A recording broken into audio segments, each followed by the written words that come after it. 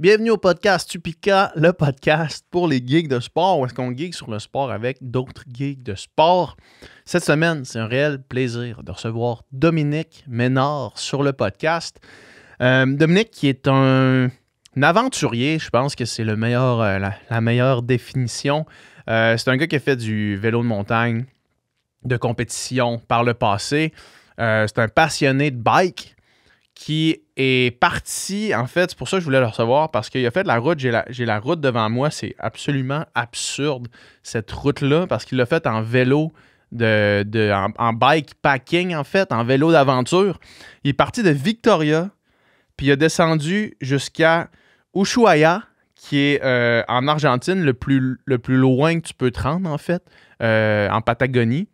C'est 23 182 kilomètres euh, en 463 jours, 235 741 mètres d'ascension. c'est un voyage absolument débile. Puis Dominique, il l'a fait euh, en documentant son voyage. Fait que moi, je le suivais comme un téléroman. Euh, j'écoutais son, récit d'aventure, puis ça fait rêver pour vrai. Euh, mais j'avais quand même plein de questions sur l'envers du décor parce que ce qu'on voit, évidemment, c'est pas la réalité parce que faut que quelqu'un filme ce qu'on voit. Fait que j'ai demandé, euh, on discutait un petit peu de comment ça s'est passé. Mais premièrement, on a abordé aussi tout son chemin qui l'a amené jusque-là, les décisions euh, qu'il a prises, qui l'a propulsé jusqu'à éventuellement se rendre à cette étape-là de tout quitter pour partir avec son vélo et ses sacs à dos. une histoire quand même assez motivante et inspirante, devrais-je dire. Euh, où est-ce que Dominique nous explique qu'il est quelqu'un qui a toujours suivi son instinct, euh, sa passion, puis que ça, ça lui a jamais fait faux bon. Puis je pense que c'est une notion qui est extrêmement importante pour euh, n'importe qui qui a une passion. de juste la suivre. Je sais que c'est plus facile à dire qu'à faire, mais Dominique nous explique comment concrètement est-ce que ça peut arriver. Parce que souvent, on est un peu prisonnier de ne pas vouloir se lancer dans un projet qui nous anime beaucoup parce qu'on on se fait ramener par la réalité de la vie, de devoir gagner sa vie, de devoir euh, euh, payer les billes, mais c'est pas nécessairement comme ça que ça se passe parce que si tu te lances dans quelque chose qui te passionne, tu vas réussir à faire fonctionner le truc. On parle aussi évidemment de son voyage en tant que tel, d'à quel point c'est euh, une épreuve surhumaine, mais qui au final euh, s'est très bien passé, comme vous allez pouvoir l'entendre. Une conversation réellement passionnante. Dominique, qui est euh, un orateur euh, très efficace. il est bon pour raconter ses histoires, puis c'est une conversation que j'ai extrêmement aimé avoir. J'espère que vous allez l'aimer autant que moi. Donc, le podcast est présenté par Upica. Upica, c'est la compagnie pour votre nutrition en sport d'endurance. On a le Upica Endurance qui est notre produit tout en un pour pendant l'effort, des glucides, des électrolytes, de la taurine, de la caféine même dans le Endurance Plus. On a le Upica Récup qui est le produit qui vous permet de récupérer après tous vos entraînements pour recommencer à tous les jours. On vient de lancer le Upica Carb Boost qui est une formule uniquement de glucides si vous voulez atteindre vos cibles de nutrition plus facilement, moi, ce que je fais, c'est que je mets un scoop de Upica Endurance dans un, avec un à trois scoops de Carb pour aller chercher des bouteilles à 75, 100 grammes de glucides. Euh, ça facilite beaucoup les atteintes de mes objectifs en termes de consommation de glucides. Lors de longs efforts, si vous voulez utiliser les produits Upica, utilisez le code promo Upica Podcast pour 10% de rabais sur votre première commande au upica.ca. Et sans plus attendre, je vous laisse avec cette conversation avec Dominique Ménard.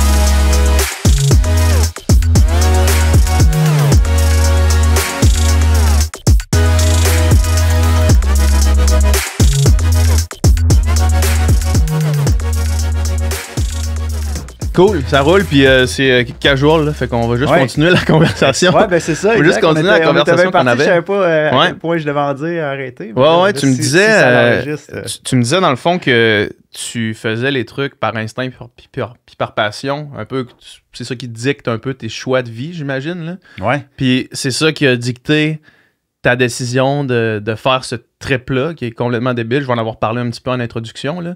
Mais peux-tu me dire, c'est quand qu'il y a eu le déclic que tu faisais ça? Pour cette aventure-là, euh, c'est tellement simple en, fait. C'est simple, puis en même temps, après ça, avec un pas de recul, je me rends compte que c'était quand même là, quelque part dans ma vie. Mais le moment déclencheur dans tout ça, puis pour mettre une date là-dessus, on est en janvier 2022. Ouais. Fait que moi, l'hiver, je porte toujours avec ma vanne. Euh, j'ai habité six ans dans une vanne à temps plein. Puis là, je viens de retourner dans une vanne. Tu m'as fait faire le tour tantôt. Ouais, exact.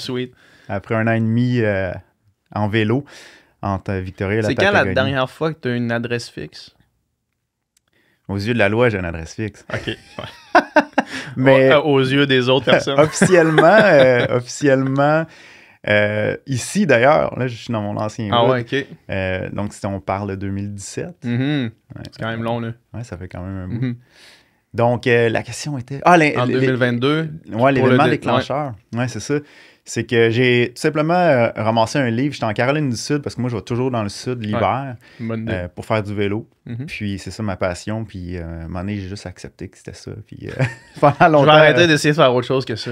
Exact. Fait que je pars l'hiver. Puis je ramasse un livre vraiment par hasard dans une librairie Indigo. Puis la pochette, bon, pas la pochette, la, page couverture, c'est même pas quelqu'un en vélo. Mais je me rends compte que la, personne a fait Oregon-Patagonie avec un vélo. Puis euh, je rouvre les pages de ce livre-là, les premiers. Moi, je lis le matin. Et tout de suite, j'embarque dans l'histoire, obsédé. On va juste remonter ton euh, micro un peu, il est, en train de descendre. Peu, hein? il Ben oui, il descend. C'est bon. Voilà. T'as peu. Je vais le Ah oui. Garde ton idée. Touche mon micro. Good. Ça va aller de même. Parfait. Et puis, euh, ouais, obsédé par cette histoire-là du début à la fin. Puis, euh, je savais immédiatement il y avait quelque chose qui avait changé en moi. Puis de plus du moment que tu as ouvert ce livre-là, puis que tu as vu les images, puis tu as fait genre, wow.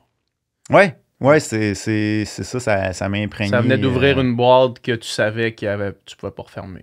Exact. Puis je pense qu'avec l'âge, j'ai appris à accepter ça. Puis quand il y avait quelque chose comme ça qui se déclenchait en, en moi, j'ai appris à écouter ça. Puis j'ai commencé déjà à faire des petites routes de bikepacking. Euh, j'étais Texas, Arizona, dans ce coin-là pour explorer un petit peu. Puis à un moment donné, il fallait que je dise à quelqu'un, j'ai appelé ma meilleure amie, Ali. J'ai dit, Ali, je pense que je vais pédaler jusqu'en Patagonie. elle est partie à rire, elle m'a dit, tu vas le faire. Fait à partir de là, c'est comme je venais d'ouvrir une porte, une nouvelle trajectoire dans ma vie euh, qui s'ouvrait. Ouais. C'est fou. Tu, tu dis que tu as appris à écouter ces signes-là. Mais comment tu as appris à écouter ces signes-là dans ta vie? -tu, quand tu étais jeune, quand tu étais un enfant, t'étais-tu sur l'instinct de même? Tu faisais-tu juste des trucs parce que ça te parlait parce que ou bien c'est plus tard que c'est venu? Ben on dirait que plus tard, tu te rends compte qu'il s'est produit des choses dans ta vie. Euh, puis tu peux les expliquer, ça. Tu peux les expliquer en sachant maintenant ce que tu sais. Exact. Puis là, moi, j'ai, pour mettre une, un âge, là, j'ai 40, je m'en vais sur mes 45 le mhm. mois prochain, tu sais, fait que quand même beaucoup d'expérience de vie, ça c'est la beauté aussi de, de, vieillir. Et puis moi, je suis, j'ai eu une époque aussi, tu sais, il y avait le personal development, des, livres à développement personnel, puis croissance personnelle. Puis croissance personnelle. Tu sais, il y a eu cette grosse vague-là, on était là-dedans, mais j'y croyais, j'étais là-dedans avec le pouvoir du subconscient et tout. Euh, et puis... En passant, tu m'aurais dit, 35. Ah! Puis j'aurais rien dit.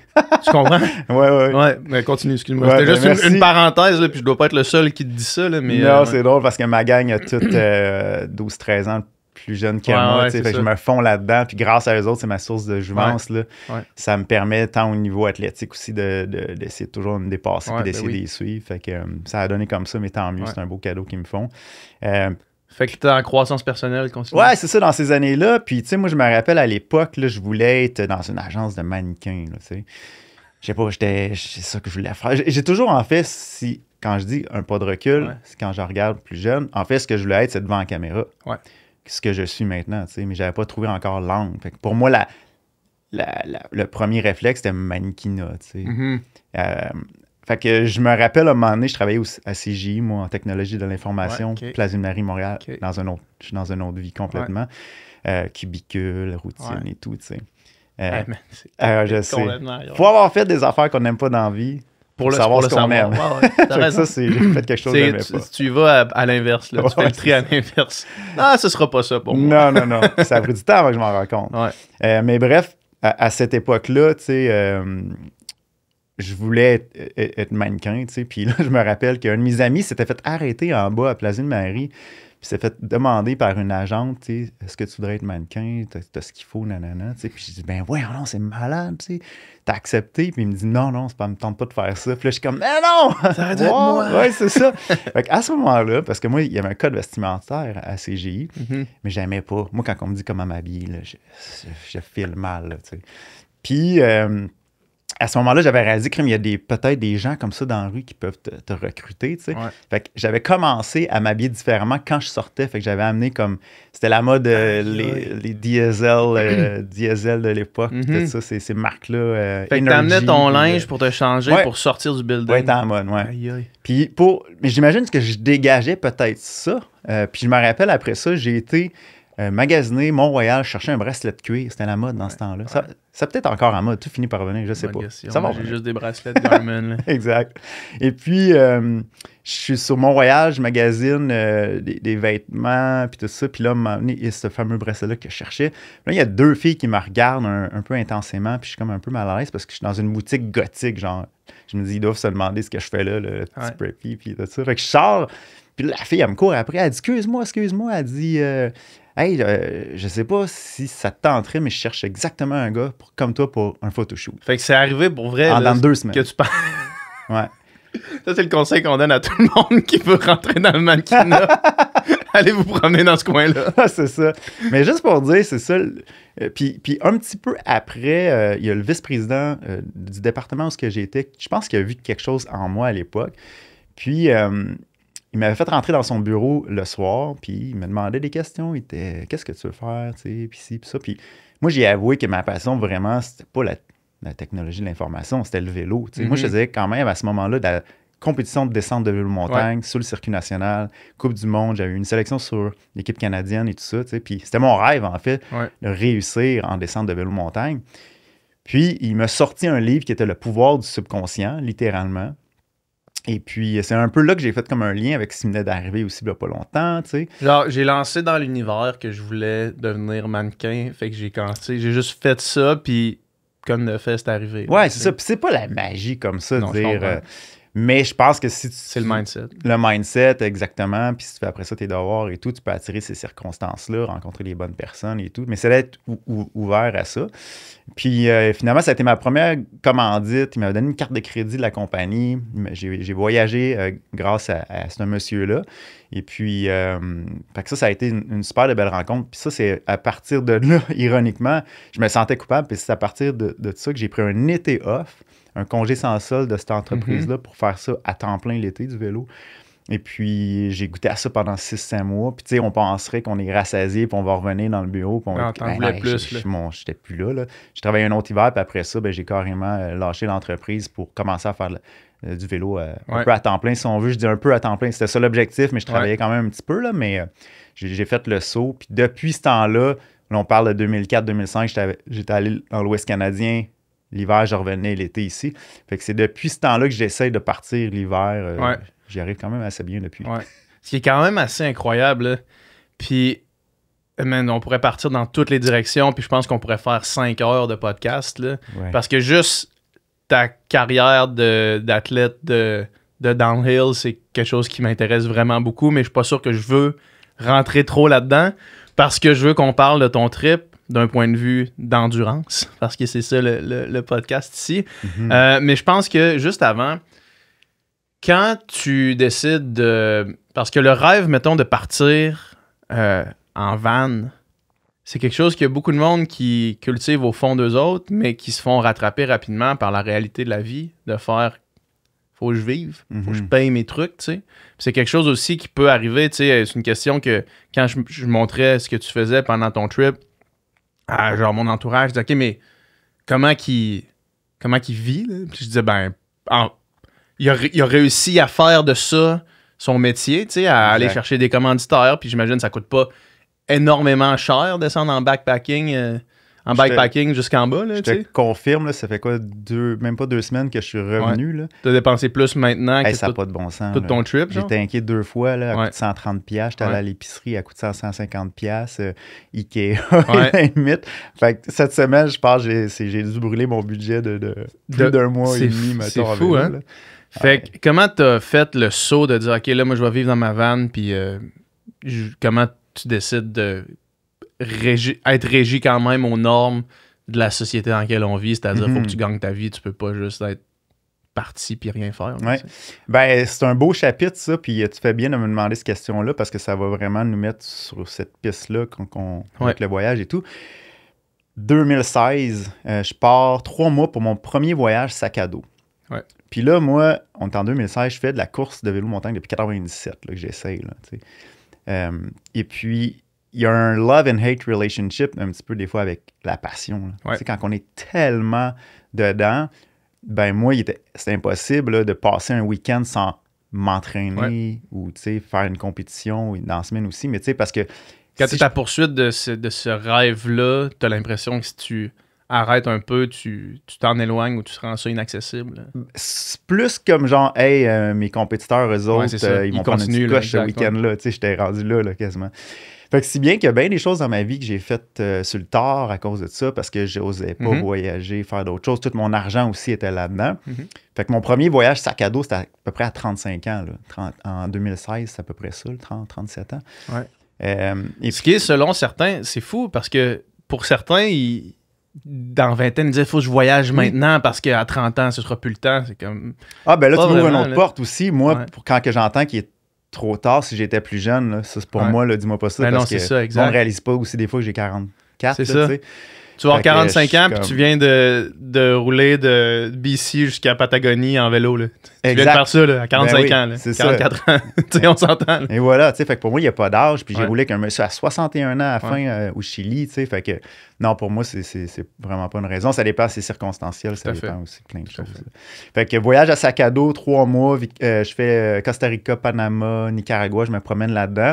Et je reviens ici, à quelques pas d'ici, dans mon condo de Mhm. Saint-Henri, immaculé blanc avec la Audi parking en avant. Ouais. Tu sais, j'étais très matérialiste. Ouais. Parce qu'après toutes mes années de vélo, qui- ouais. de course, j'avais un besoin, je pense, au final, je, je m'en allais dire me prouver, mais c'était peut-être pour prouver aux autres que, hey, moi aussi, là, tu sais, fait condo, euh, condo penthouse, euh, avec la Mhm. petite terrasse sur le toit, la Audi. Mais la tu faisais petite- quoi à ce temps-là? Là, j'étais représentant dans le milieu du vélo. Euh, fait qu'après mes années de compétition, j'ai commencé à être euh, représentant. Puis dans cette agence-là, je représentais aussi Cycle de Vinci, qui Mhm. est encore un partenaire à ce Mhm. jour, qui a une relation qui a commencé en 2004, quand même. Fait que ça fait tu sais, 20 ans, là, Ouais. grosso modo. Là. Fait que, euh, fait que représentant dans le milieu euh, du vélo en vente. là. Et puis l'hiver, c'était plus tranquille. Fait que c'est pour ça que je me suis permis comme de, de- de voyager un petit peu comme ça. Mais quand je retourne dans mon condo de Saint-Henri, je pogne de quoi là? Le, le- après trois mois, je pense qu'il y a bien des gens aussi qui reviennent puis qui ont un. En fait, on dit, j'ai entendu une statistique, là, je ne sais pas si c'est vrai, fondée, quelqu'un m'a dit ça en voyage, qu'environ une personne sur quatre qui fait un long voyage là, de plus de deux mois, trois mois, finalement s'installe ailleurs. là. Mhm. Mais euh, j'aime quand même ce que je fais, puis j'adore le Québec, honnêtement. Puis c'est quelque chose dans le voyage que j'ai réalisé, c'est ça que je vais toujours finir par revenir ici. Mais euh, je retourne dans mon condo, puis j'ai un choc comme ça, puis je suis pas prêt à laisser ma job, mais je me dis, parce que là, le mouvement van life hein, arrive, Ouais. tu sais, et je me dis, crime, une van pourrait me donner un petit côté aventure sans tout sacrer là, parce Mhm. que une van, quand t'es rep sur la route, c'est vraiment pratique. Mais Ben oui.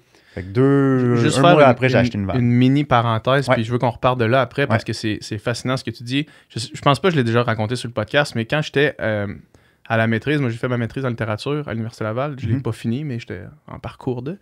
Puis euh, la vie a fait son, son chemin après.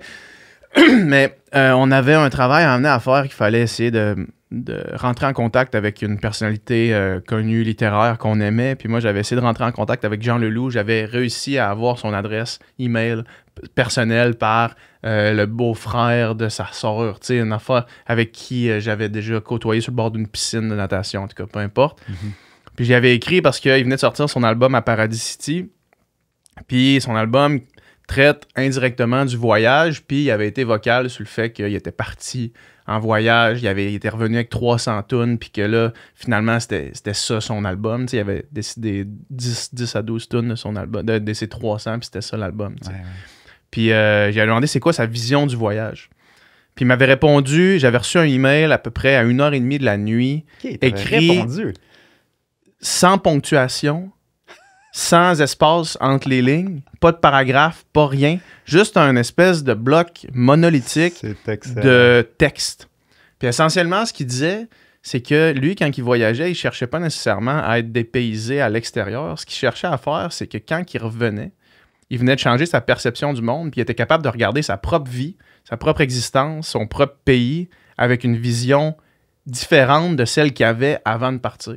Fait que ça lui permettait de remettre en perspective toute sa vie, tout son entourage, euh, parce qu'il était allé défaire cette espèce de vision préconçue-là qui s'était déjà fait. Ouais. J'avais lu ça, j'avais fait oh, wow. Amène à ça Puis, parce que c'est fou, C'est vrai, là. Chaque long voyage que j'ai fait, là, ça me lançait euh, dans une autre trajectoire. Ouais. C'est une méditation d'être, ailleurs comme ça. euh, C'est ça. C'est complètement une autre perception. Puis c'est inspirant. Quand Ouais. tu reviens, c'est, une renaissance souvent. là. Vraiment. Tu te réinventes. Puis... euh, Fait que là, tu te dis, le, peut-être le, le, le half, je vais me prendre une vanne, mais je vais pas laisser ma job au complet. Non, exact. Fait que, tu sais, je garde encore le condo.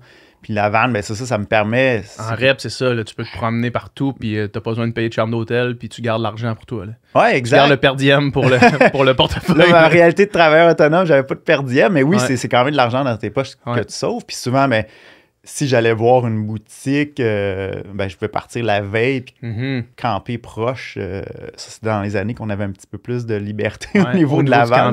J'étais pas mal dans les seuls à Avant que ce soit régi, là, comme Ouais. Là, ouais. Là, à cette heure, le monde, ils savent, ils voient une vanne, ils, Ouais. savent qu'il y a peut-être quelqu'un dedans, puis ils ont commencé à, gérer un petit peu plus serré. Peux-tu être dans Walmart encore? De moins en moins. Même aux États-Unis, de moins en moins, parce que c'est ça. on- Il y en avait trop, là. il y en avait trop, tu sais, puis t'as toujours 1% tu sais, qui exagère Ouais. dans la vie, là. Mhm. Mais 1%... euh, La, la règle est faite tout le temps. La loi est faite pour le 1% qui exagère. Ouais, ouais, c'est ça. Dans n'importe quoi. 1% de 10 personnes qui fait ça par année, c'est pas si pire, mais 1% là, de 10 000 Mhm. personnes qui fait ça par année, ben, ça fait Mhm. qu'il y a du monde à Granby, pour, pour nommer le Walmart de Granby, qui est en train de faire euh, un barbecue avec Ouais. son auvent. Ouais, ouais. ça dérange. Ça dérange, effectivement. Fait que merci, grâce à ce monsieur, on n'a plus le droit, mettons, au Walmart de Ouais, ah. C'est une vraie histoire, C'est une vraie histoire. ouais, ouais. Fait que, euh, non, c'est ça. Tu payes pour toujours pour ceux qui, qui exagèrent, effectivement. Fait que, ouais, je suis sur la route comme ça, puis je réalise rapidement que je retourne plus au condo. Mhm. Moi, je louais le condo. Euh, à ce moment-là, j'ai décidé de, de, de sous-louer. Puis éventuellement, le propriétaire m'a appelé, il voulait vendre. Ouais. Puis il m'a il me l'a offert de l'acheter. Puis dans le temps, j'ai dit T'es-tu malade? Ça vaut pas ça. Tu sais, J'habitais Mhm. dedans, puis je voyais pas comment on pouvait payer euh, Ouais. 389 000 pour un condo Ça n'a pas dû être long. qui que- doit être genre 800 000 Ouais. maintenant, Ouais. là, tu sais, en tout cas, fait que... euh, bref, j'ai-. Mais c'est correct, là, mais m'avoir mis la corde au cou puis avoir Ouais. acheté le condo, peut-être ça m'aurait pas donné Exact. cette liberté-là. Euh, euh, comment je pourrais dire ça? Euh, en ayant un peu d'argent de côté, un coût de vie assez bas, ça me permettait de prendre des, des chances comme Ben oui, ça, tu sais, ben puis oui. de voyager, puis c'est un choix que j'ai j'ai fait. Et puis, ben, c'est ça, petit à petit, ben là, au courant de l'hiver d'après, je suis reparti en van, je suis revenu pendant l'été prochain, je suis reparti en van l'hiver prochain. J'ai peut-être tiré trop l'élastique. euh, je ne saurais jamais pourquoi, mais j'ai perdu mon emploi, en fait, avec ma job de, de rep, avec l'agence. Je venais de soumettre un, un nouveau projet aussi. Euh, à l'époque, on se rappellera, bon, on est quoi en 2017? Euh, on s'en va sur 2018. Et puis, je remets un projet euh, pour un petit peu, euh, moi, avec 20 ans encore devant moi en tant que représentant, je me, je me demandais où est-ce que ça s'en allait, cette job-là de rep. Parce que Ouais. là, tout d'un coup, les inventaires sont automatisés. Moi, mes clients, Ouais. c'est les boutiques de vélo. Mhm. Je rentre dans une boutique de vélo. euh, il y a une, une époque que je peux dire Hey, tu as vendu quatre vélos de tel modèle, euh, voilà l'inventaire qu'on a. Tu sais, on avait du pouvoir. Mais là, grâce aux technologies, ce pouvoir-là, ben, il est dans les mains des détaillants. Le détaillant, le matin, avant même que j'arrive, peut regarder l'inventaire qui reste au manufacturier, puis de dire dans son historique d'achat qu'il en a vendu quatre de ce modèle-là cette Mhm. semaine, ou peu importe, puis euh, de recommander des vélos. Puis il y a même des systèmes Qu'ils le automatisés. font automatiquement, aussitôt, Ben oui. que, aussitôt qu'ils sont loin en inventaire. en Exactement. commande, ouais. On est rendu là. Fait que- puis le plus gros placement de l'année, qui est le placement le plus important, puis c'est un peu là que tu vois ta relation avec ton client, admettons, dans la dernière année.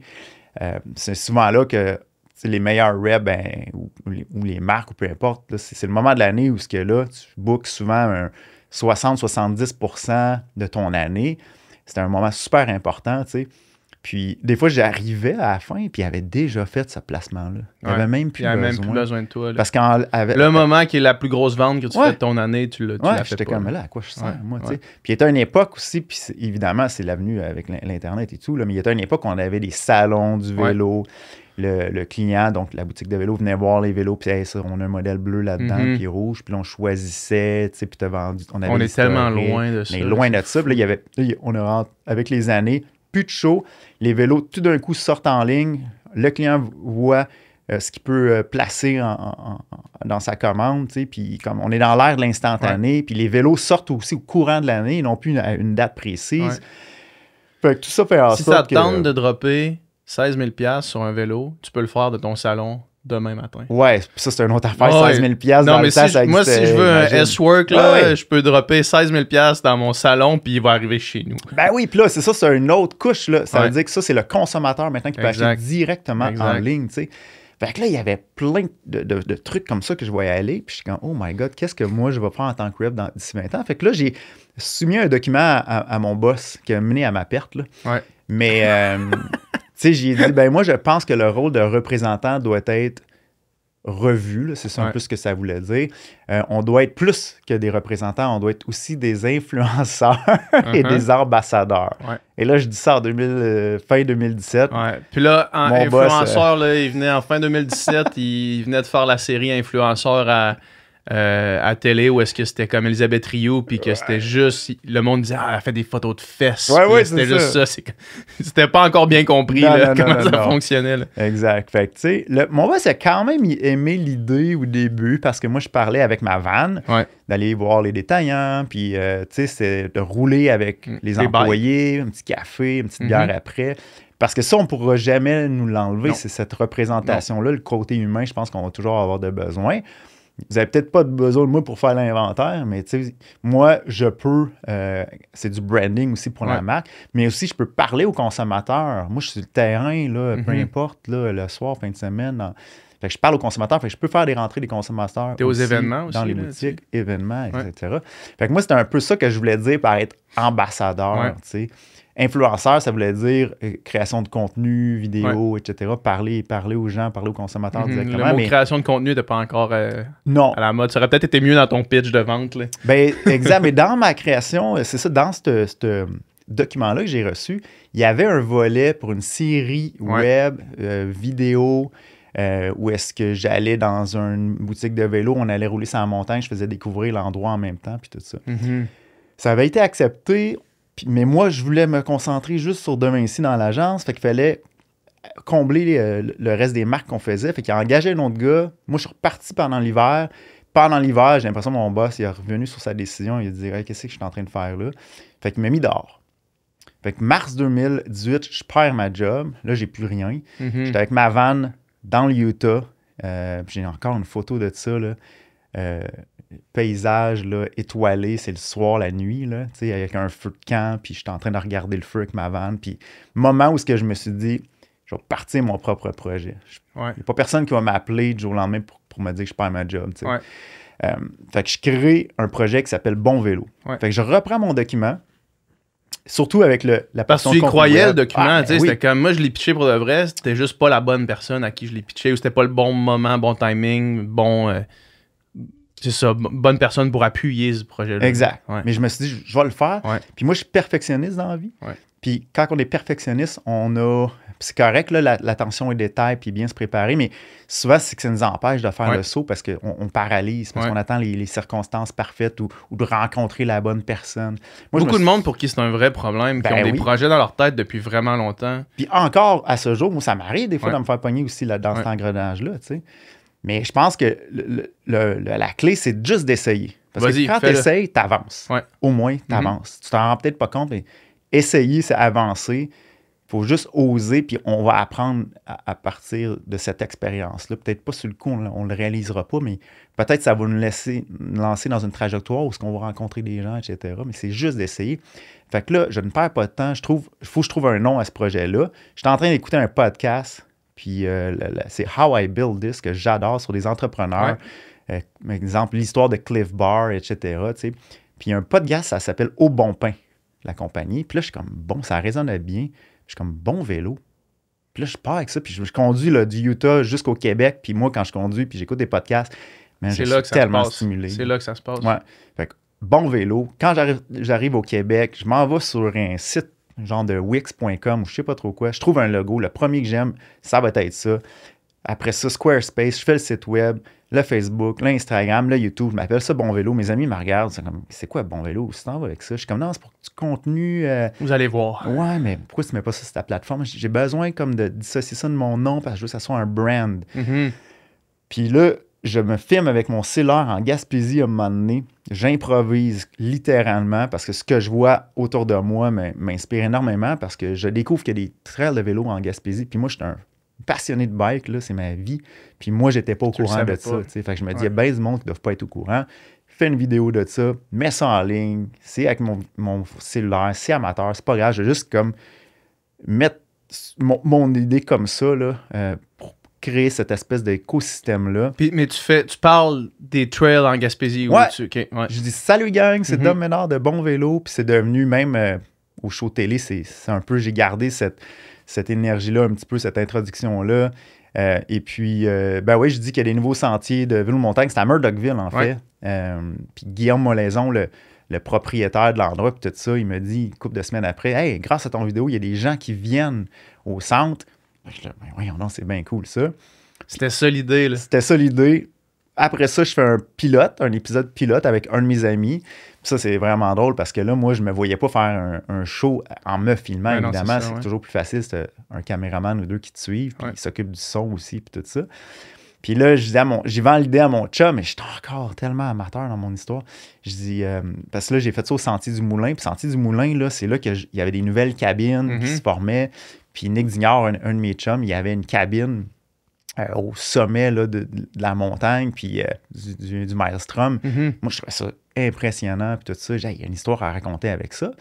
Puis, euh, je puis Nick, il avait comme drone, une bonne caméra, puis tout ça. Puis là, je dis, on pourrait faire une émission un peu plus de, de- de- un épisode un peu plus de qualité, tu sais. Puis je me servirais de ça pour aller chercher des commanditaires, Ouais. tu sais. Puis là, c'est drôle, j'arrive là avec Nick. Nick, c'est mon invité.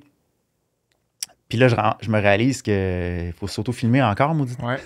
fait que là, je suis Ouais. amateur, mais c'est pas grave. Les gens, on le fait pareil, on le fait pareil. On va mettre le drone dans notre face, là. là. Peut filmer Ben, notre stop, on va des entendre. fois Oh my god. Oh non, non, c'est vraiment drôle. Fait que là, des fois, je j'arrive, je me rappelle que j'arrive avec la caméra, je le filme, puis là, il me montre comment ça marche. Puis là, on est plus avec mon cellulaire, là, le gros, la grosse caméra, puis tout ça. Des fois, on met le trépied pour se filmer, en tout cas. Puis on y arrive, en fait, quoi, de vraiment nice quand même. Puis, euh, c'est ce qui m'a permis d'aller chercher du budget l'année suivante pour Mhm. faire une web série. Et là, ben, on tourne ces images-là euh, en 2020. Ouais, ah ouais. Ok, ouais. là, tempête parfaite pour moi. Je parle de van life, Mhm. je parle de vélo montagne Mhm. et de voyager localement.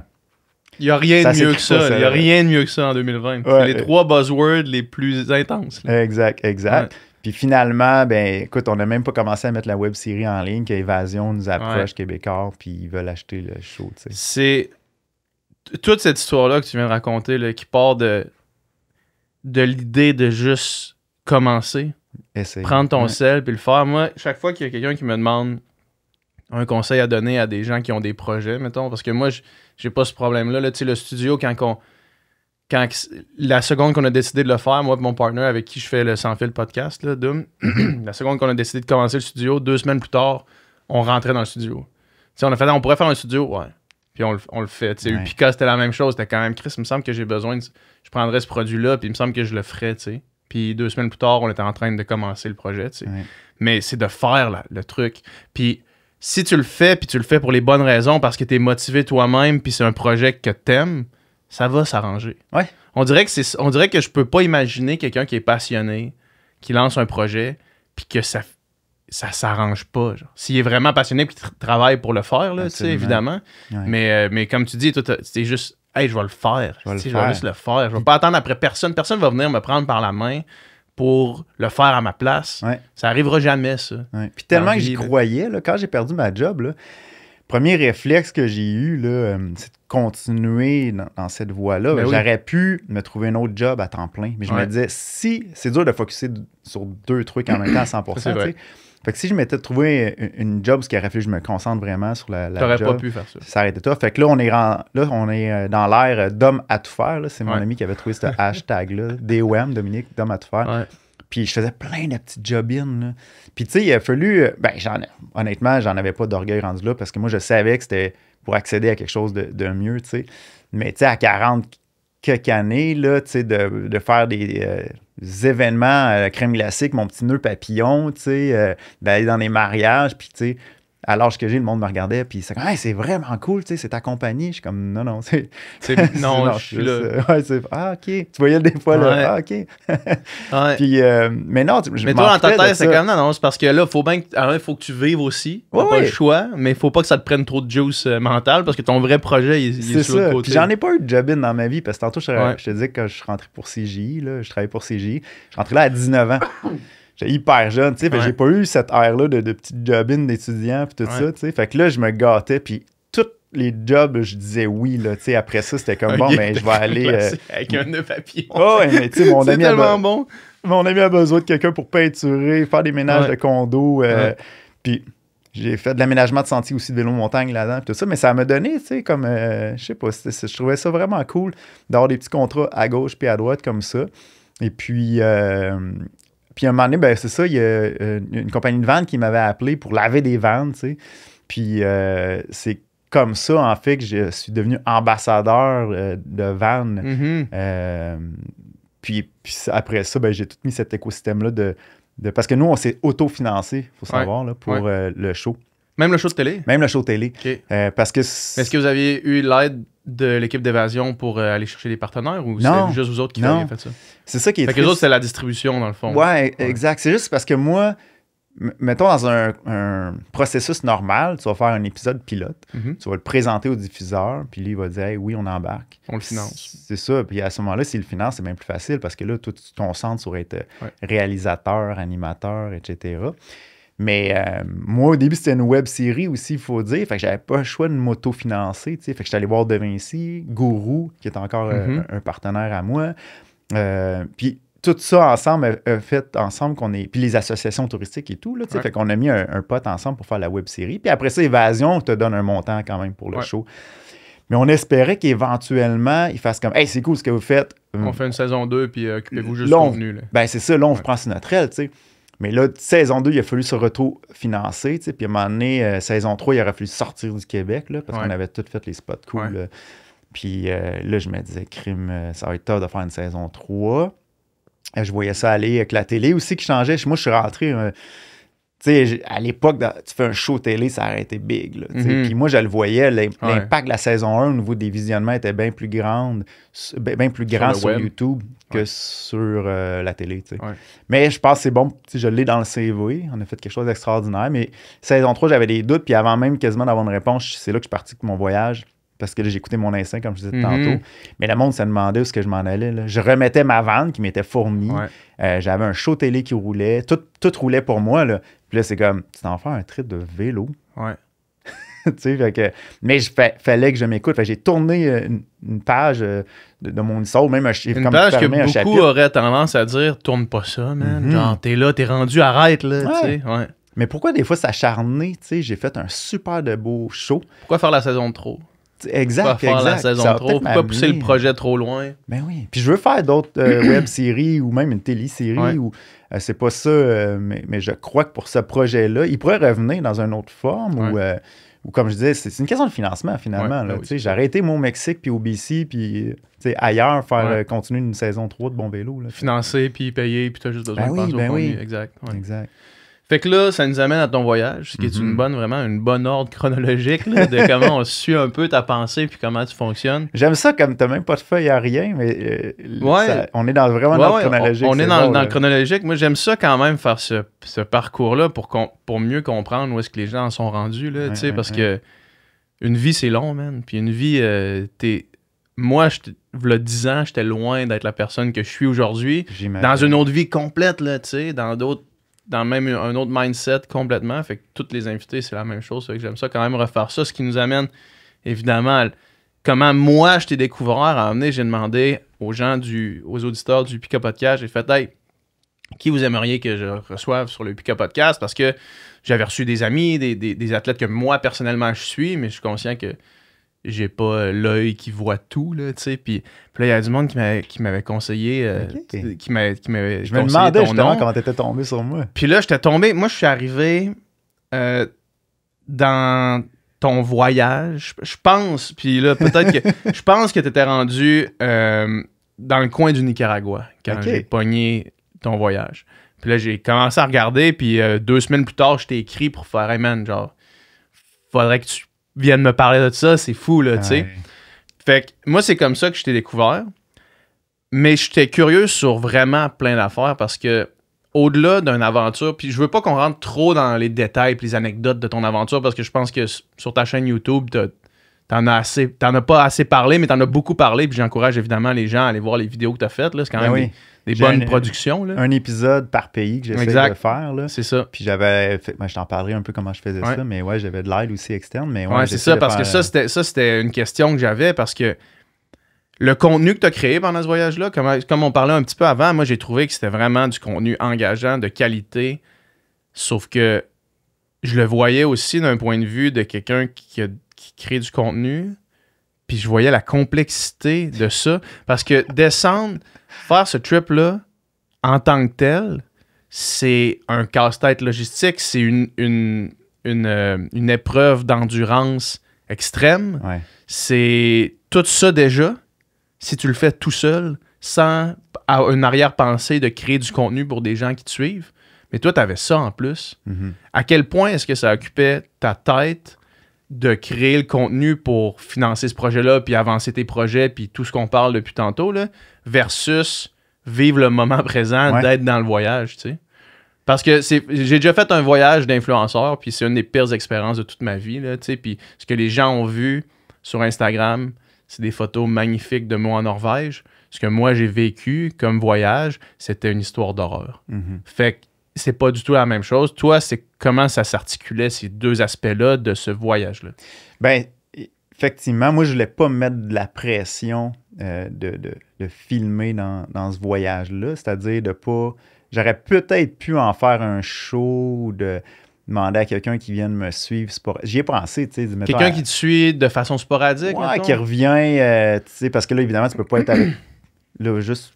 J'ai pédalé de Ouais. Victoria jusqu'à Ouais. Patagonie, 23 180 km sur un an et demi. Tout ça va être dit dans, dans l'intro. Fait que c'est pour ça que j'en pa- c'est pour ça que je Ouais. dis pas les stats, là, mais c'est incroyable quand même, ça vaut la peine de leur dire. C'est ça. Mais Ouais. imaginez la tâche de filmer ça avec quelqu'un, c'est impossible. Tu peux voir quelqu'un qui te suit dans une vanne pour filmer. Ben non, exact. Fait que tu sais, puis moi, je venais de sortir de deux saisons de bon vélo, puis moi, ma vie a changé aussi, là. Fait que euh, j'avais besoin de déconnecter aussi, là. Quand tu deviens public, puis tu sais, je suis public à petite échelle, là.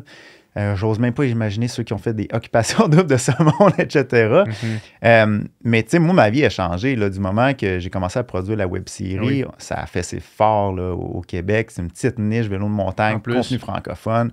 Là, j'étais le héros des kids, puis euh, c'est un feeling extraordinaire. Mais là, moi, je suis temps plein dans ma vanne.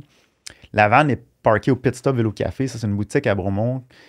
Deux amis qui, qui ont ça, puis qui me permettent de stationner dans, dans le parking. Puis là, ce qui arrive avec la van life, c'est que moi, il y a une époque, j'allais dans le, le P1, puis le P2, P5 à Shefford. Je me parquais clandestinement, mais je me suis jamais fait achaler. Mais là, il y a tellement de monde qui font la van life que je peux plus faire ça. Fait que, tu sais, en faisant la promotion de ça, je me suis retrouvé aussi à me Ouais, peinturer dans le coin. de ta propre destruction. Là. Ouais. Puis, tu sais, c'est pas juste moi, il y a beaucoup de monde Ah qui, ouais. qui ont participé à ça, là, tu sais. Mais bref, euh, là, j'étais parké au moins au, au pit stop, mais là, la vanne est rappée. Le monde commence à me Ouais. Fait que, tu sais, j'avais plus d'intimité. Puis, je me rappelle, là, un moment donné, je suis en train de faire mon yoga euh, le matin, un dimanche matin. La boutique n'est Ouais. même pas ouverte encore. Il y a un client qui arrive, puis là, il s'approche de la vanne. Puis, puis c'est un de ces matins, je suis comme, non, non, non. Je... Moi, le matin, j'ai ma petite musique de méditation, mon eau, mon eau chaude, gingembre, Ouais. euh, curcuma, puis je fais mon yoga, j'ai ma petite routine, tu sais, puis c'est un moment précieux, même quand on faisait du tournage, là, j'avais besoin de ça le matin, puis là, je vois la personne s'approcher, puis j'ai fait un petit signe, genre, non, non, non, non, euh. Puis c'est là que je me suis dit, oh my God, ça commence à être euh, difficile. par- Ouais. c'est comme si euh, Martin Matt habitait au Maxi, là, tu sais. Ouais. t'es, le porte-parole de, tu sais, Pas Martin Matt. exact, tu sais, dans sa vanne, Ouais. il se brosse les dents.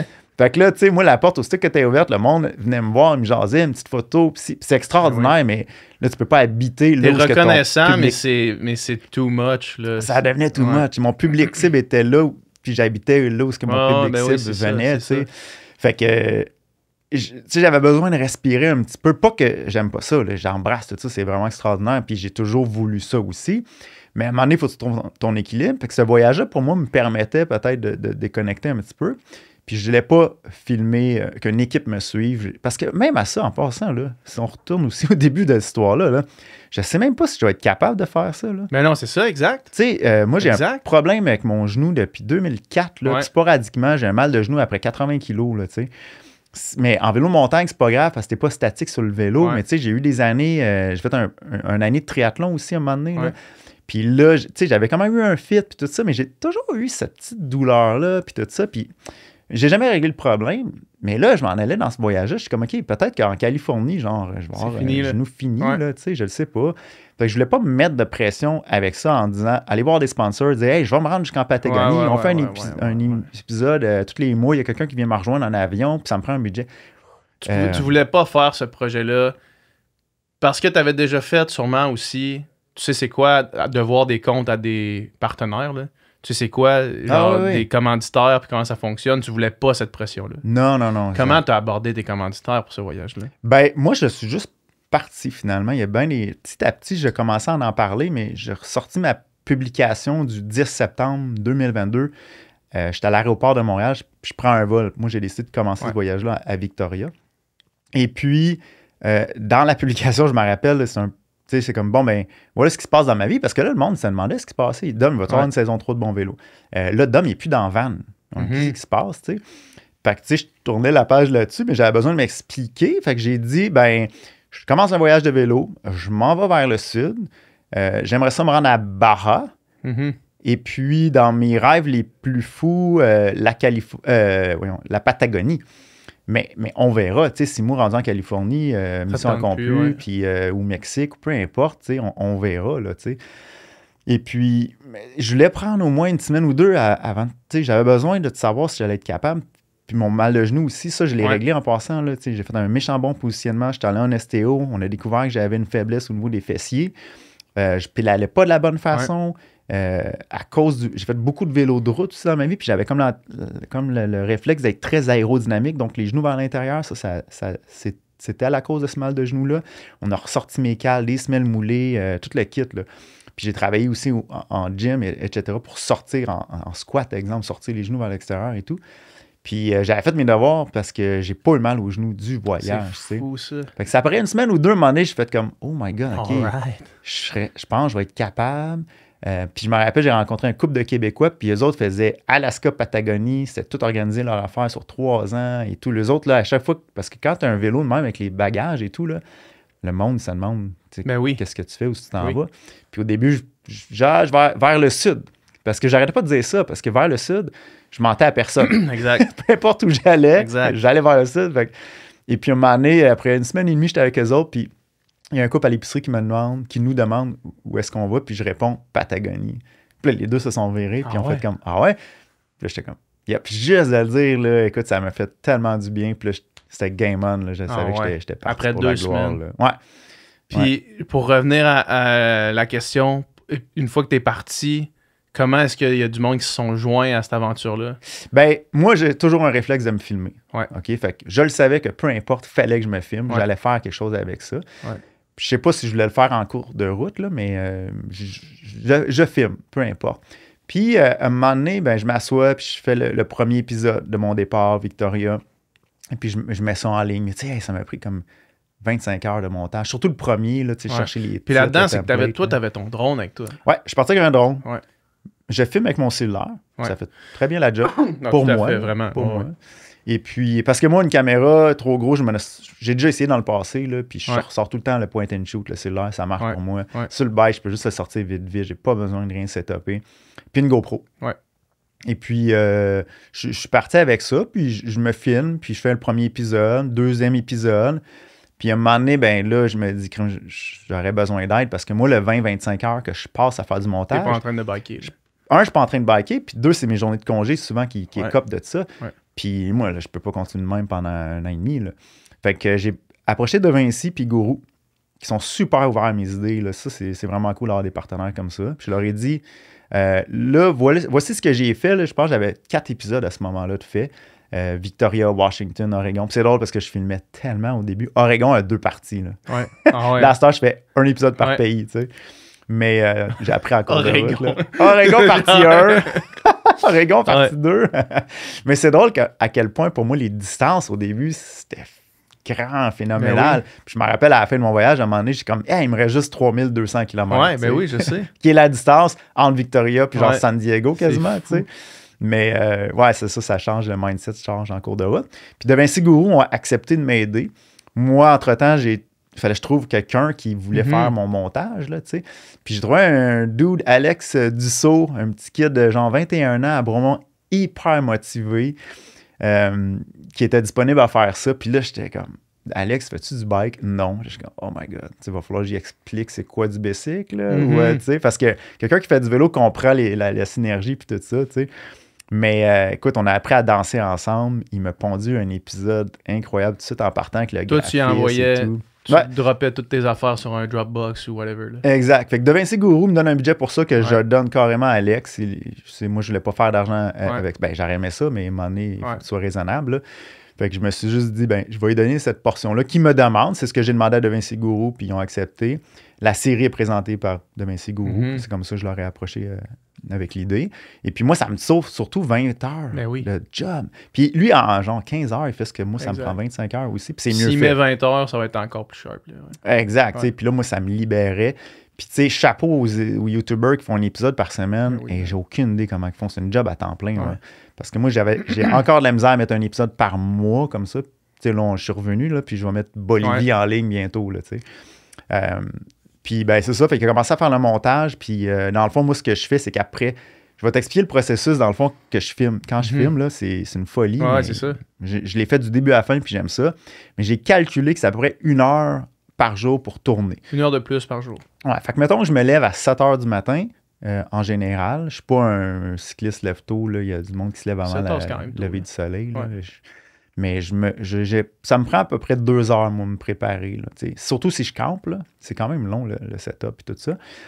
Puis je pars en moyenne vers ça, 9 heures. tu sais. Si on ferait une moyenne, euh, ça serait sûrement ça. Ouais, je suis super 9 fier quand je, près. sors, quand je pars à 8h15, mais ça arrive Ouais. pas souvent. Je comprends. Euh, fait que je pars vers 9 h. Puis là, j'en ai pour la journée sur le bike, là. Ouais. littéralement, Ouais. jusqu'à 4-5 heures, là, qu'on le veuille ou non. C'est, Des ça, journées énormes. là. Ouais, ouais, ouais. C'est énorme. Ouais. Puis moi, c'était ça que je trouvais. Puis, je- on va en reparler, excuse-moi. Continue. Ouais, ouais, Je, vais retourner sur mais ça, mais c'est énorme. Quand je le dis, je suis comme, hey, je pars pour une ride de bike chez nous, euh, je fais mon 2 heures. Ça n'a pas de sens, ça n'a pas rapport. Euh, continue sur le setup de filming, puis après ça, je veux qu'on parle du, du feed physique en tant que tel. Exact. Là, je pars, puis quand je fais une shot de drone, là, que je le veuille ou non, des fois, je dis, OK, OK, OK, on fait ça vite. Faut que je me batte aussi avec moi-même, là, tu sais, parce que des fois, tu es dans le momentum, ça va bien. Ah, T'arrêtes, Ouais. sors le drone. Puis ça arrive des fois que tu sors le drone, puis la shot, t'es- tu sais, tu lèves le drone, puis tu dis, Ouais, ça marche pas ici. C'est pas si beau. Ou Hein. tu lèves le drone, il y a un char qui arrive, commence à te parler, puis là, le drone est dans les airs, puis tu vois juste tes batteries comme Ouais. baisser. Puis à chaque fois, on dirait que sors le drone, il se passait de quoi, là. Mais tu n'as pas en bas de, de 15 minutes en vélo, là, tu sais, Ouais. parce que moi, quand je roule, il faut que je, me, je m'auto-filme aussi. Mhm. Ça, j'ai appris ça en cours de T'as route. pas là. le- le- l'espèce de tracker qui peut te tracker automatiquement ou? Un, il l'a, mais euh, j'ai un, j'ai un Mavic, euh, un DJI Mini 3, Ok, ouais. puis la, la feature, elle pointe pas de très loin, là. Euh, fait que des fois, oui, de, de proche, mais souvent, ouais, je, je- ça fait des trajectoires un peu Ouais. linéaires où est-ce que là, ben, je le fais, je l'envoie, tu sais, je conduis, je me une- un setup, la, la, la- la commande est sur mon guidon, là. Fait que, tu sais, je fais des petites trajectoires comme ça. Puis des fois, ouais, des fois, il y a comme des, des, des modes un petit peu automatisés, j'ai appris en cours de route, là. Euh, mais c'est c'est un bon 15-20 minutes. T'en fais une ou deux par jour, c'est Ouais. déjà là, 35-40 minutes de drone. Là, les fois qu'il faut que j'arrête, mets le trépied, mets le cellulaire, l'angle, j'y vais d'une shot, j'en reviens. Des fois, je le refais deux, trois fois, dépendant de ce que je veux. tu sais. Fait que une bonne heure pour filmer. J'en reviens le soir. Et puis, euh, généralement, si c'est pas un, camp- un campement, un campement, il faut que je m'installe, c'est un peu plus long, ou l'hôtel, mais un stock que je, je me suis installé comme ça, là, je sors, je m'en fais mon épicerie pour le lendemain, je m'en vais au restaurant, je reviens il est vers 8h, 8h30, des fois même 9h. Mhm. Puis là, je classe tout de suite mon contenu. Je veux pas le perdre. Fait que de le mettre sur mon ordinateur, ça fait en sorte qu'il est à au moins deux places, sur Ouais. mon cellulaire, mes cartes euh, mémoire, puis mon laptop. Fait que j'ai un dossier par pays, puis dans chaque pays, par journée. Chaque journée. Chaque journée, tu as la date, les deux villes que j'ai connectées, là, tu sais. Ouais. Euh, et la journée, le day, euh, tu sais, quand tu voyais jour euh, 364 de mon voyage, c'est Ouais. comme ça. C'est eux autres.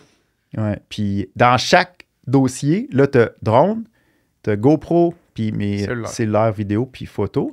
Puis j'ai renomme en plus les fichiers. Comme ça, je peux faire un search vite vite sur B-roll, BTS, behind the scene, euh, drone, euh, tu sais, fait que ça, ça m'aide. euh, ben, ça m'aide, puis aussi pour Alex, qui va faire le montage Ben, à distance, ça. lui donne une Parce qu'après ça, quand tu arrives dans une ville qui a un bon Wi-Fi, là, tu uploads toutes tes affaires. Après ça, je mets tout sur Google Drive. Ouais. C'est ça qui fait que lui, euh, pour tout downloader puis commencer l'épisode. Ouais. Quand on commence un épisode, je fais un synopsis. Fait que j'ai dit, ben, la- l'épisode, mettons, euh, Équateur, ben, commence telle journée jusqu'à telle journée. Puis là, je dis les highlights, à ne pas manquer. Le volcan Cotopaxi, Chimborazo. Ah, il est arrivé ça, j'ai perdu mon drone, mettons, crashé mon drone. Tu sais, fait des petits highlights comme ça. Puis je mets tout ça dans ce, ce fichier synopsis-là. Puis lui, après ça, il- il fait sa magie. Mhm. Et puis, il me met une version 1, je fais des corrections. Puis la version 2, lui, il la met direct sur YouTube. Comme ça, ça m'évite de Ouais. trouver une connexion pour uploader. Tu l'écoutes sur Unlisted sur YouTube. Ouais, puis après ça, ben là, je fais la mise en ligne. Fait que c'est un peu le processus. Euh, tout ça, ça prend une heure à ta journée? Une heure tous filmée. les jours? C'est ça, parce que tout le reste, mettons, de, de travail, c'est combien de temps dans autre une 45 journée? minutes. Là, 1h45, une 2 demi-heure. heures, mettons, là, euh, par jour. Là, Ouais, près. ouais, ouais. Ce qui est quand Plus même une stock, man. la tâche. C'est ça. Qui est de voyager en Ouais, qui est tough exact. quand même. à la- Ben, tough. Qui prend beaucoup de temps, disons. Ouais. Mais c'est fou comment t'expliques ça, puis faut comme pas tu. Probablement que quand t'as starté ça, faut pas que tu y penses. Dans... Faut que tu fasses une journée après l'autre. là. T'as Pas... Tu peux pas faire, hey man, faut... genre, ça va me prendre. Ça va me prendre un an et demi. Genre, à chaque jour, ça va me prendre 1h45 Ouais. à filmer. Faut juste que tu, tu le vives. T'as pas le choix Ah de juste ouais, le faire, puis Ah pas ouais. penser trop loin. Là. Je te dirais que, effectivement, même dans le voyage, faut pas que tu penses plus loin. Parce ça. que, t'as-tu vu la. Tu sais, je veux dire, Ben je t'ai montré la map. Même moi, je la regarde, je suis comme. Hey, j'ai fait ça en bike, c'est- immense, Ouais. mais tu peux pas penser euh, trop loin. euh, ça devient Non. obscur. Ça existe comme pas avant que tu sois rendu quasiment euh, probablement en Argentine. là. Ça, La là. fin n'existe pas tant que t'es pas rendu dans le dernier pays, non, on dirait. Même faire ça Même en char, ça Ah, ben serait... C'est interminable, Interminable. mais hein. Hein. Tu sais, tu traverses le Canada des fois en char, t'es comme ah, Ouais. barnouche. Mais euh, ouais, puis c'est ça. Faut, que- faut que tu fasses des petits objectifs, de le voir au quotidien. Ouais. Puis à un moment donné, ça devient même plus aussi un.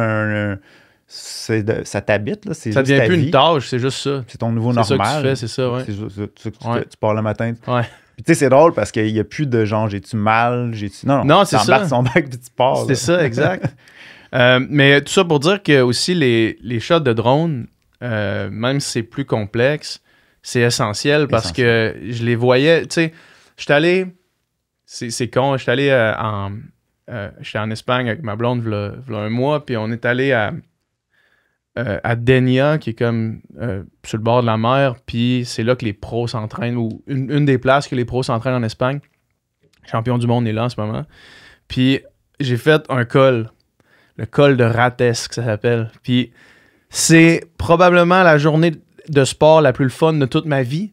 Parce que j'étais là, je voyais les paysages, je, je capotais comment c'était grandiose puis fou. Ouais. Puis j'ai filmé comme avec mon sel, mais à partir de mon point de vue à moi. Puis là, j'ai genre, quand j'ai checké les vidéos, j'ai fait Chris, c'est beau, mais c'est pas comment moi je l'ai vécu. Là. Sais, C'est pas aussi grandiose que je le voyais dans ma tête, mais quand, quand toi, tu sor- sortais des, des stories avec les drones, Oh ça te permettait de montrer à quel point c'est là. Mm. à quel point c'était des, des paysages incroyables, que si tu avais juste pris ton sel pour essayer de filmer les... Voici un ravin, c'est comme, OK, je comprends probablement que c'est plus beau comment toi tu le vois que moi, là, mais le drone, ça permet d'aller chercher cette, cette ampleur-là, on dirait. Absolument. Mm. Ah, ouais. Puis tu sais, je suis content de l'avoir fait parce que tu sais, faut que tu traînes tout ça, là, mais euh, Ouais. ça change tout la perception. Ça l'ajoute aussi un petit côté un peu cinématographique, Exact. grandiose de la chose. Fait que tu sais, moi, éventuellement, c'est un documentaire aussi que je veux faire Mhm. avec ça. Ouais. Euh, fait que c'est sûr que ça va m'aider énormément pour la, la- la beauté aussi de Définitivement. ce documentaire-là. Ouais. Euh, avant de te laisser partir, moi, je veux qu'on parle de l'aspect physique de ça, parce que le podcast Tupica, c'est aussi ça. C'est surtout ça, en fait. Mhm. Euh, comment est-ce que tu peux soutenir autant de jours d'affilée de longues heures sur le bike? Ouais, ouais, ouais. Parce que moi, je vois plusieurs enjeux. Le premier enjeu, c'est un enjeu purement physique et musculaire.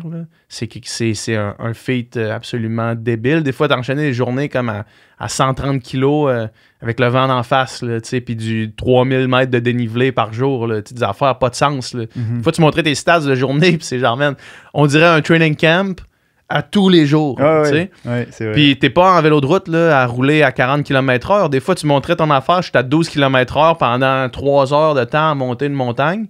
Fait que t'as cet aspect-là.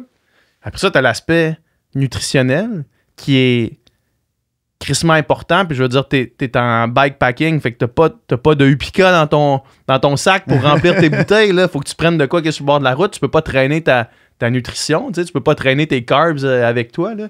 Fait que comment t'as managé ces deux, ces deux aspects-là pendant tout ce voyage-là? Puis est-ce que tu as appris pendant que tu le faisais?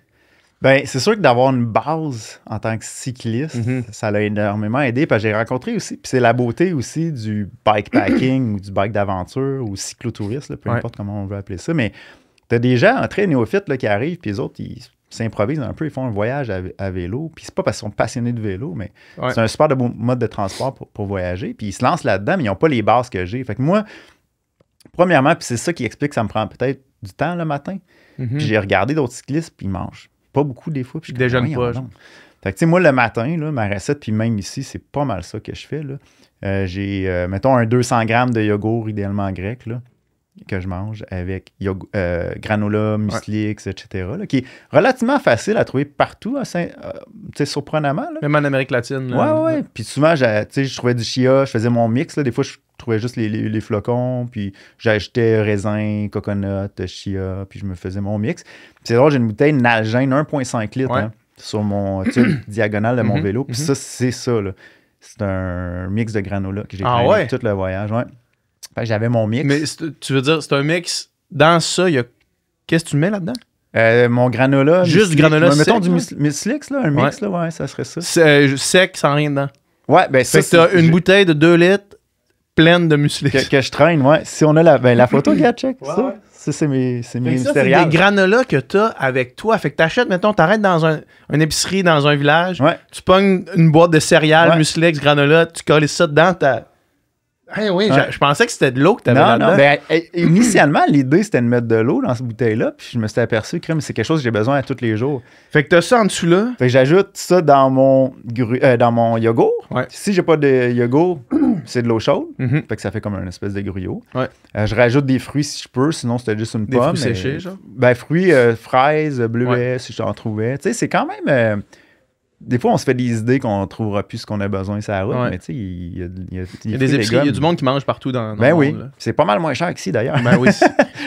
Et puis, euh, après ça, j'avais toujours mes tortillas. Je suis un fan, moi, de bouffe mexicaine. Puis, ce que je trouve cool dans ces pains-là, c'est qu'ils s'écrasent pas. Fait que Ouais. je peux mettre ça dans une sacoche.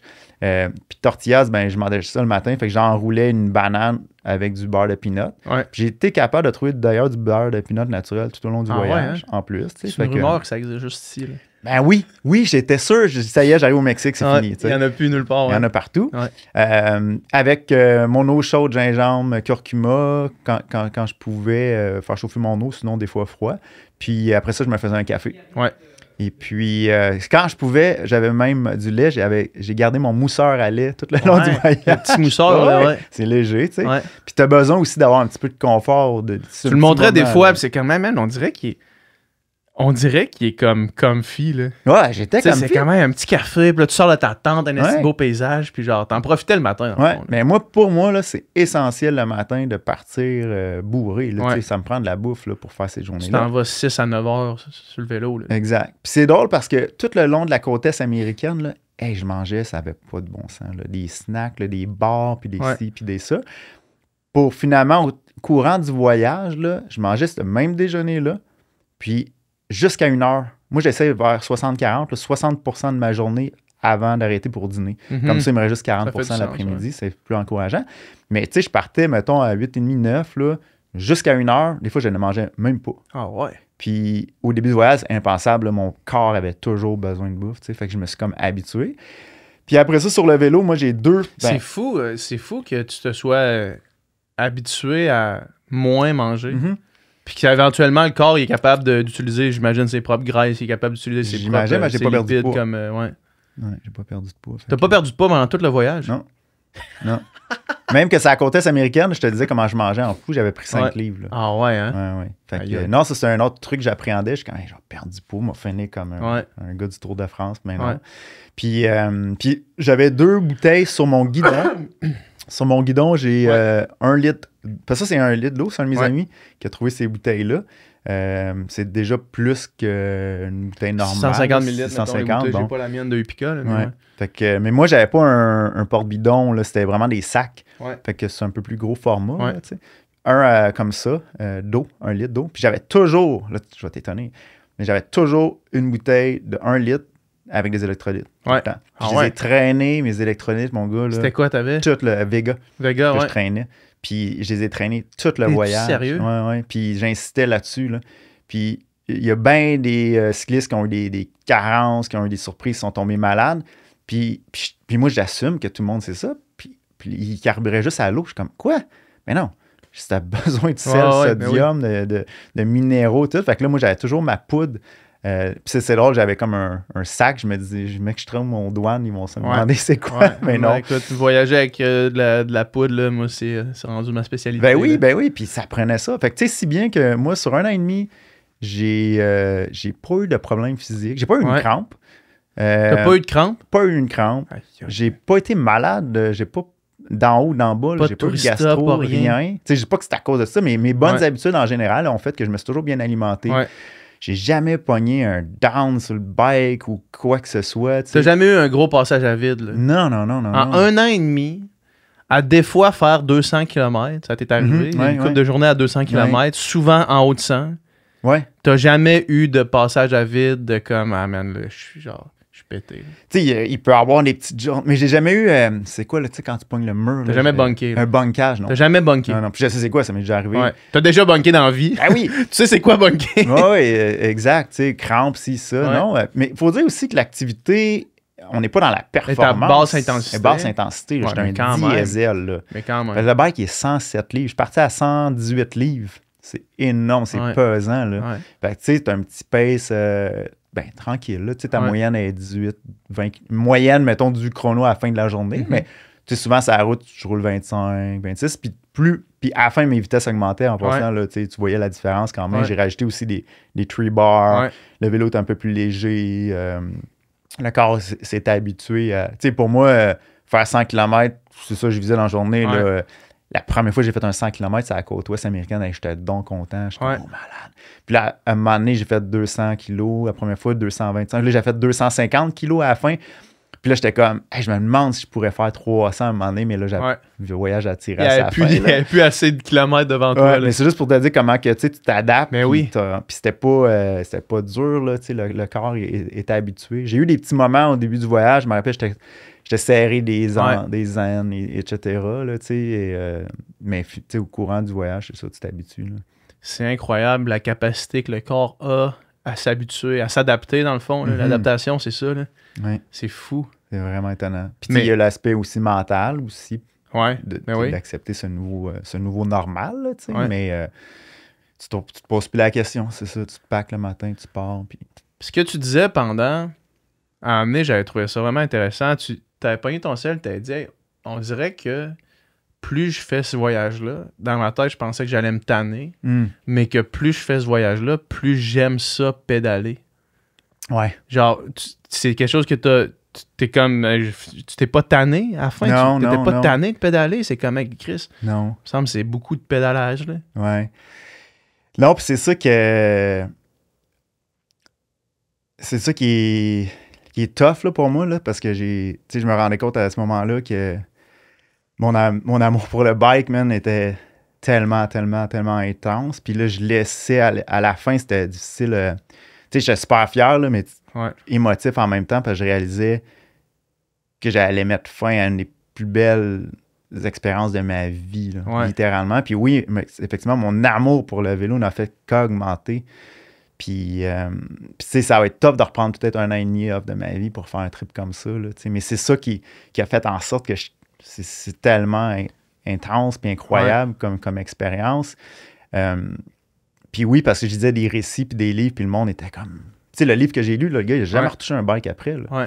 Puis moi, au contraire, euh, à la fin, quand j'ai terminé à Ushuaia, j'ai retourné au Chili, je suis retourné en Colombie, j'avais de plus. T'avais pas le goût que ça se finisse comme ça. Non, non, non, Ouais. non, non. genre- puis je, tu sais, là, je retombe dans mes trucs, puis je pense que c'est important pour moi de le faire, puis mes partenaires aussi. Là, tu sais, Mhm, je pense que c'est ouais. important d'être sur le terrain, de rencontrer aussi les, les gens qui m'ont suivi dans, dans Ouais. l'aventure.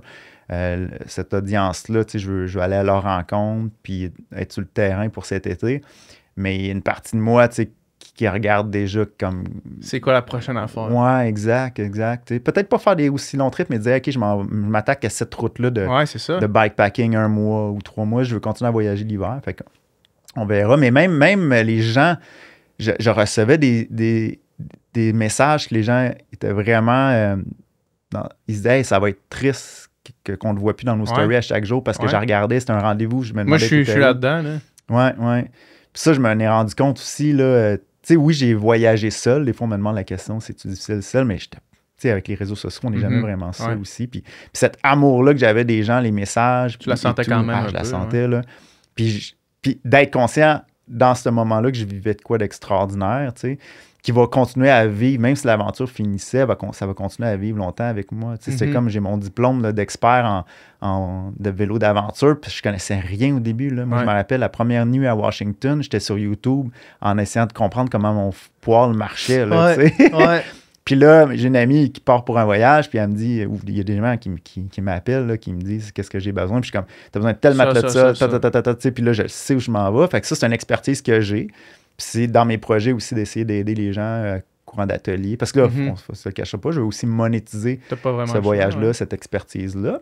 Fait que les gens peut-être à faire leur premier voyage, euh, on verra. J'ai plein d'idées, mais cet été, je pourrais faire une initiation bikepacking Ouais. et tout, parce que moi, je me rappelle au début, c'était hyper dur de, de m'équiper, Ben oui. tout ça, tu sais. Fait que, Puis là, toi, tu l'as fait. Fait je l'ai fait, ouais, Ouais. non, c'est ça. Fait que ouais, mon amour pour le vélo n'a fait qu'augmenter. Puis là, c'est difficile là, parce que là, je veux tout faire. Là. Moi, Ben oui. j'adore la descente de vélo de montagne, mais là, je trouve que c'est des épreuves un peu d'endurance, plusieurs stages. Ça pourrait être le fun aussi. Bikepacking, gravel. Fait Ouais, ouais, ouais, c'est vrai. chargé, là, Ouais. Malheureusement, juste trois bikes qui rentrent dans ma vanne. Hey man, c'est. euh, Mais au moins, la bonne nouvelle, c'est que tu as beaucoup d'options, je pense. Ouais. Je pense que le monde a aimé assez ce que tu fais pour que si tu arrives avec cette carte de visite-là sur un prochain projet, j'ai pas l'impression qu'il y a beaucoup de monde qui vont euh, pas vouloir embarquer. là. non, ça, ça J'ai fait une double portes, négative euh, pour aucune raison. J'aurais dire j'ai l'impression qu'il y a beaucoup de monde qui vont qui vont embarquer, mais, ouais. Mais euh, ouais. Mais en- organiser des voyages, tu sais, ça Ouais. m'ouvre plein de portes, Ouais. cette histoire-là. là, tu sais, Ouais. fait que- puis j'ai toujours mes partenaires avec moi, là, tu sais, c'est rendu, c'est rendu ma job aussi. Puis c'est sûr, là, comparativement à d'autres cyclistes, le fait que ça a aussi bien été mon aventure, j'étais quand même privilégié. Beaucoup de cyclistes qui mettent de l'argent de côté, ils ont tel montant divisé par tant de jours, puis ils ont 22 US de budget par jour. Moi, j'avais quand même des revenus grâce à ces partenariats-là, puis tout ça. Fait que c'est sûr que ça a aidé mon, mon- le succès de mon voyage. Man, c'était fascinant. Merci beaucoup de ton temps. Puis euh, on, on va suivre la suite avec grand plaisir puis grande attention. Merci beaucoup. Merci. All right, salut.